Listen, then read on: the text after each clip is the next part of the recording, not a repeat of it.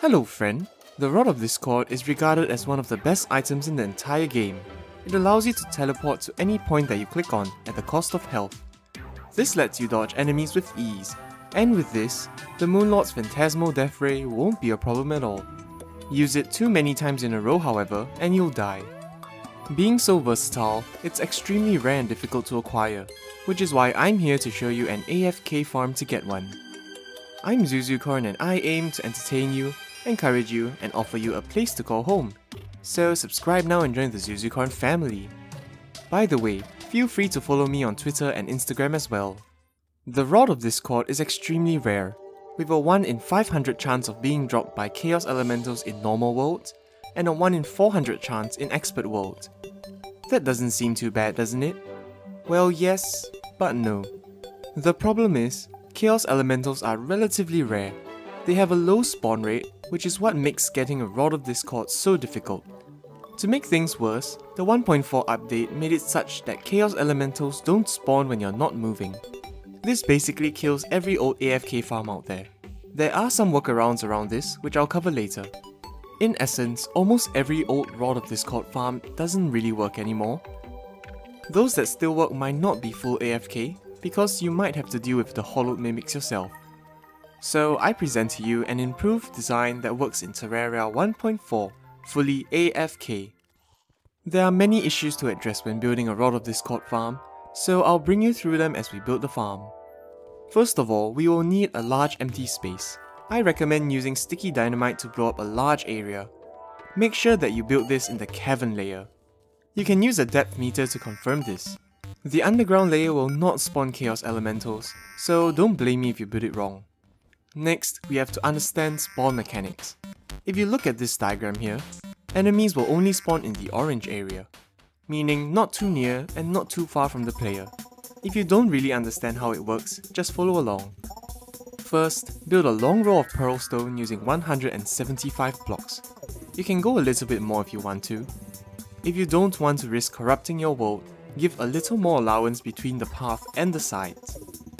This path is what will spawn the hallowed enemies. Next, grab any block that you like. I'll be using snow bricks. Then, measure 50 blocks upwards from the path. Just simply place the 50 blocks upwards, clearing anything in the way. This is mostly for measurement purposes, so you don't have to be too hung up on doing it perfectly. Similarly, build 50 blocks downwards from the path. Once you've got your nice measurements done, build all the way across the bottom of your farm.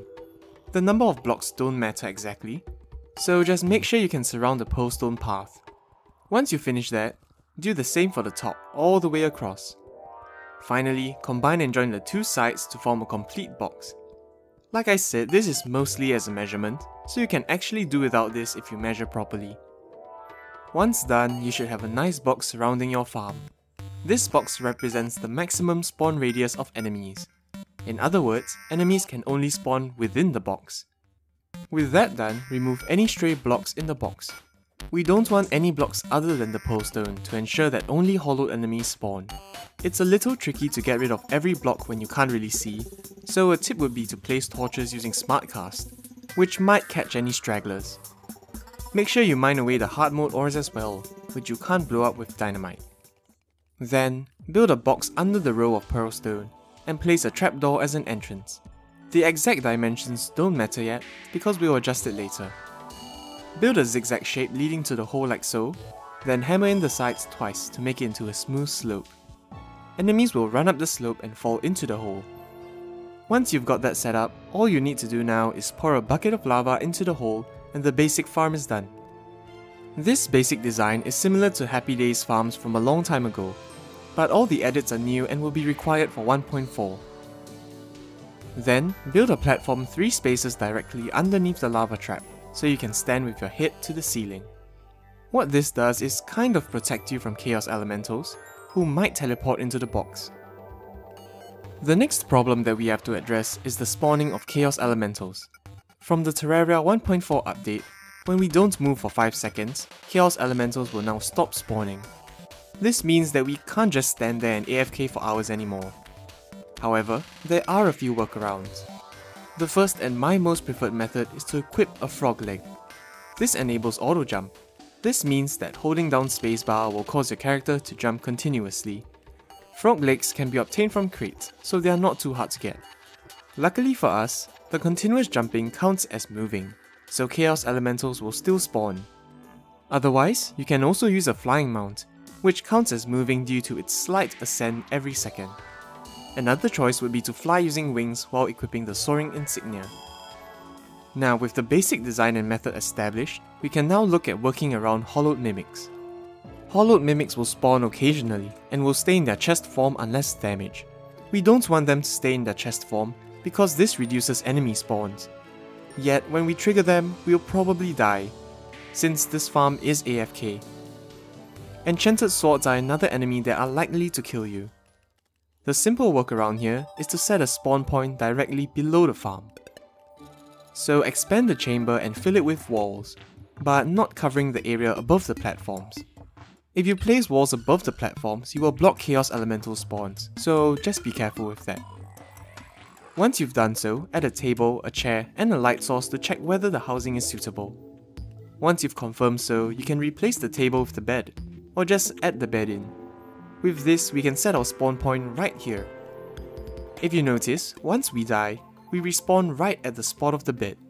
So just shift it directly underneath the platforms and you're done. Every time you get killed by a hallowed mimic, you simply respawn and get back into position. The next problem we have are enemies spawning below us. Enemies can sometimes spawn under us, even beyond the spawn limits, so just simply pour a few buckets of lava to stop them from spawning. The farm is looking pretty good already, but we can make it even better and improve on other weaknesses. The current design of the trap is not deep and wide enough, so just simply extend the shape and make the trap taller. There, much better. This prevents the slimes from jumping out, but just remember to reposition the bed as well. The next problem would be killing the skeleton merchant and triggering hallowed mimics. The skeleton merchant and hallowed mimics both reduce spawn rates of chaos elementals. So this is done simply by placing a few dart traps. Place the dart traps facing the outside of the trap, then place actuators on them. Wire them to a switch and actuate it once. Alternatively, you can use an actuation rod. Then make sure you remove the actuators with a wire cutter, and then you've got non-solid traps that won't block enemies. Simply repeat this for the other side as well. Then wire the traps to a timer in your chamber. You can make 1 second timers, but the mechanic now sells half second and quarter second timers. They don't really make a difference in this case, so just get whatever. Make sure you don't wire the trapdoor, and make sure your actuators are removed. If done correctly, the dart trap should activate at regular intervals, which will damage NPCs and hallowed mimics to trigger them. Just to be clear, activating the mimics will make you die, but that doesn't matter with the spawn point setup. This is also why I prefer the frog leg, since it puts you in a position instantly, unlike a mount which you have to reactivate yourself. With that done, the farm is now completed. Most of its weaknesses have been addressed, we can now put a heavy object onto the spacebar and AFK farm for a Rod of Discord. To summarize, this setup will ensure that you stay in position even when you die, so you can go full AFK. Chaos Elementals will simply spawn, then run into the lava and die, allowing you to farm them for their drops. To be honest, it will still take a crazy amount of time to get a Rod of Discord, but at least we have an AFK farm to do it now, which is just amazing. If you also want to turn this into a Blade Staff farm, just simply summon some spiders with you in the chamber. This AFK farm is for people who want a legitimate AFK method to get one. For those of you who would rather get a Rod of Discord from a free server or whatever, go ahead. I won't tell you how to play the game. But in return, I expect you not to impose your methods onto other people as well. So all the best in hunting down your very own Rod of Discord. I hope the farm will help you out. If you enjoyed the video, make sure to subscribe and hit the bell icon too, for more Terraria guides and coverage. Feel free to check out my Instagram and Twitter as well.